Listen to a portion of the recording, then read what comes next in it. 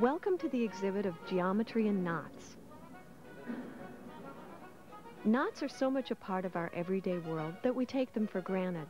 But mathematicians have found that studying even the simplest knots can lead into almost unimaginable spaces. In this movie, we'll take you on a short guided tour of the world of knots from a mathematician's perspective. Let's begin. This figure eight knot can be untied since its ends are free. From a mathematician's point of view, this knot is no knot at all. But if we join the ends to form a loop, we can no longer undo the knot without cutting it. Now that's a knot. These three knots look different, are they? Two knots that look different may be just different arrangements of the same knot. Sometimes a knot that looks knotted really isn't. Here are three intertwined loops. If you remove any one of them, the other two fall apart.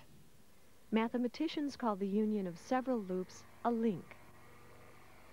By rearranging this link, we can see that the three loops are equivalent. Here is another symmetric form of the same link. In this form, it's called the Borromean rings. When we look at a knot, we don't usually think about the space around it. But to a mathematician, the space around a knot is just as real as the knot itself. Sometimes it's easier to understand something by looking at what it's not.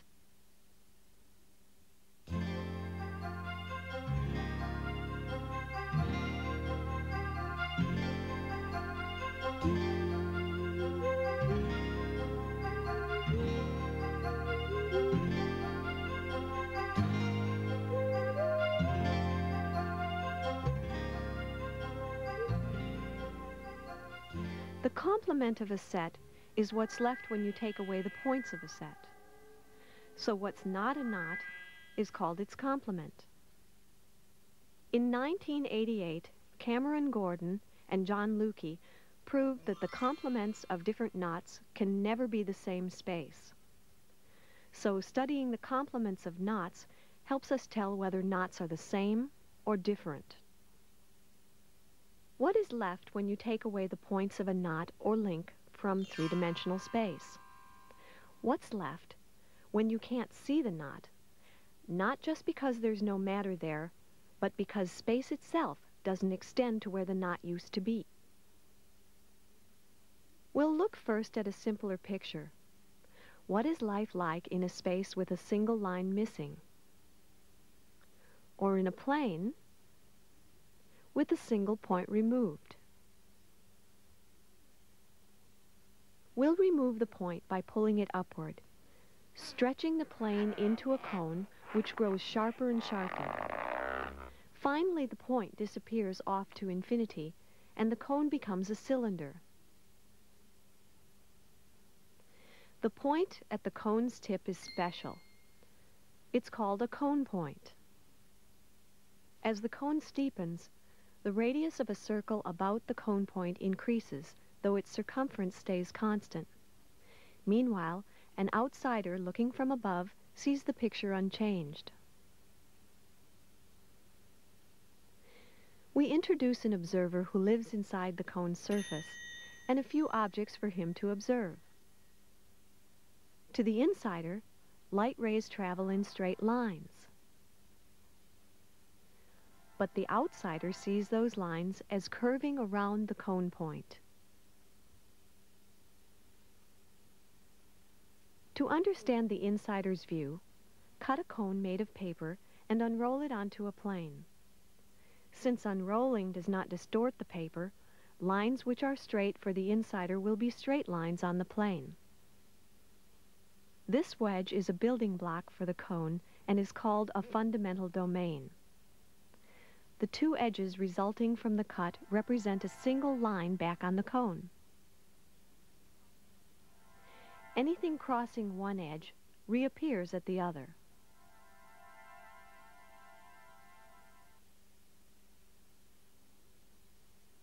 We can mend the cut by stretching, then gluing the edges. we get the outsider's view where light rays look curved. The position of the imaginary cut is arbitrary. These insiders, touring the cone in their car, don't notice as we move the cut to follow them. They look right through the cut and see what seems to be another copy of the wedge. For special values of the cone angle, a whole number of wedges fit together neatly, but usually the remaining gap is filled with part of a wedge. Here's another way a cone surface differs from a plane. In a plane, only one straight line connects two points. But on a cone, there may be several. There may even be straight paths from a point to itself. We make our two-dimensional objects three-dimensional by stacking them up. The stack of cone points forms a line, called a cone axis. The fundamental domain for this space is a solid wedge. Our inside observer sees many copies of the car at once. Which is the real one? They are all equally real. But the light rays from the car reach the observer from several different directions. Remember our question, what is life like in a space with a single line missing, or in a plane with a single point removed? As the cone angle decreases, the space we are looking at changes. Sometimes the wedge-shaped fundamental domains click together perfectly, like a jigsaw, and we get a symmetric picture. When n fundamental domains fit exactly around the cone axis, we say the axis has order n symmetry.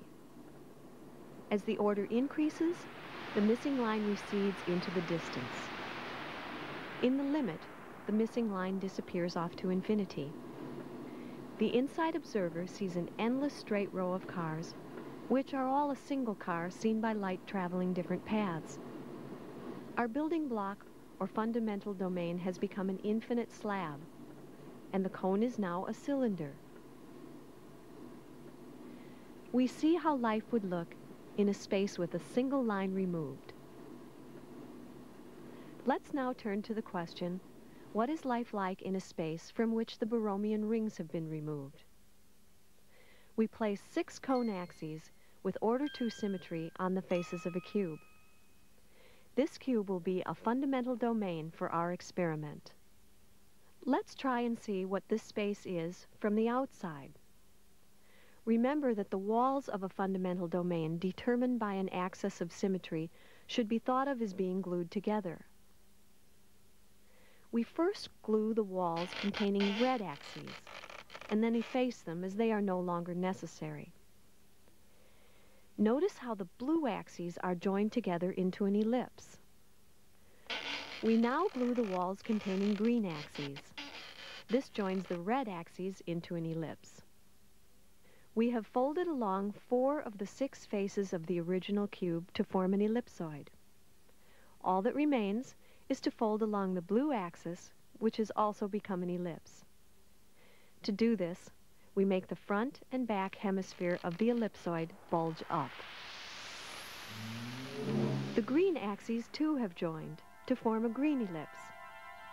Notice what we have now, the Borromean rings. Now we've seen that the outside view of our fundamental domain is the Borromean rings. What is the insider's view like? Remember, around each cone axis, the insider sees two copies of every object. We first activate the red axes. The image from our fundamental domain gets replicated in the next door cube by the front axis. And both of these images get replicated by the back axis. And so on until we have copies of the cube extending all the way to infinity in both directions. Next, turn on the green axes which face forward. This creates another infinite row of cubes. Turning on the other green axes reproduces these two rows to give four rows, and so on until we have an infinite horizontal plane of cubes. Finally, when the blue axes are turned on, they make the two-dimensional pattern be repeated in layers to fill up the whole space. This is what it looks like to live inside the space created by the order 2 axes on the sides of the cube. We can also work out what happens when the Borromean axes have higher order symmetry. For instance, if we want them to be order 4 axes, we must build a fundamental domain with 90 degree angles along these axes. We must modify our cube so it has right angles along its six axes. Impossible, you say? You may not have noticed it, but we're escorting you into Lobachevskian, or hyperbolic, geometry, where this and many other things are possible. This dodecahedron, in true hyperbolic perspective, has 90 degree angles between every pair of adjacent faces. When we look directly down on the red axis, we see that the faces meeting there make a right angle. We can glue three more copies of the dodecahedron around this axis. We can move our viewpoint inside this figure. Now we have fourfold symmetry around one axis. Before exploring further, we'll remove the walls and change the shape and color of the beams. We can continue to add copies of the dodecahedron around each colored axis. First, let's do this for some of the available green, blue, and red axes. Eventually, the copies of the dodecahedron fill space without overlap. Just as we tiled ordinary space with cubes, we've tiled hyperbolic space with regular dodecahedra. Let's fly around a little in hyperbolic space to get a better feel for it. Notice how quickly apparent size changes as we move. This is one of the biggest qualitative differences between our everyday space and hyperbolic space. This is what it looks like to live inside the space created by order 4 axes along the edges of the dodecahedron.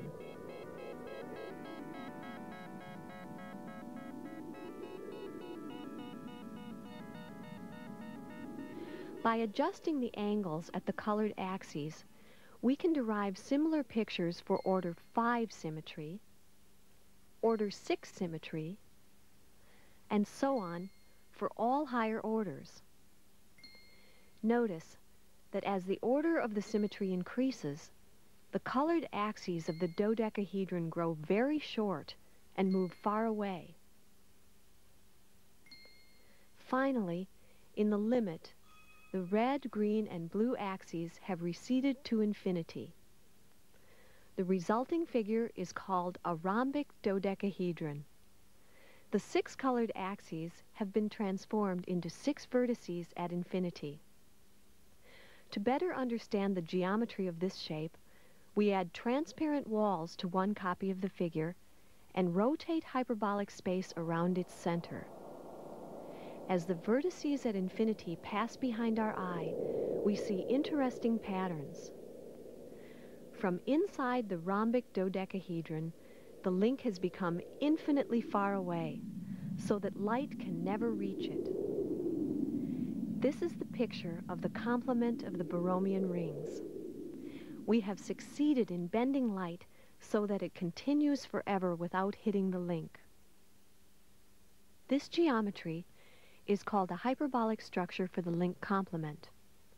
According to theorems of Mostow, Marden, and Prasad, there is at most one hyperbolic structure for any link complement. According to a theorem of Bill Thurston, all knots and links, with some simple exceptions, have complements that admit hyperbolic structures. Therefore, knots and links are completely determined by pictures such as this one. This concludes our guided tour. We've had a glimpse of how mathematicians understand knots and links and the spaces around them.